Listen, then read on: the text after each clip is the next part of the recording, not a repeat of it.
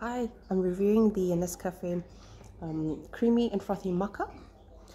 Uh, it's a really nice, smooth, creamy and um, frothy, rich taste of coffee and uh, cocoa together.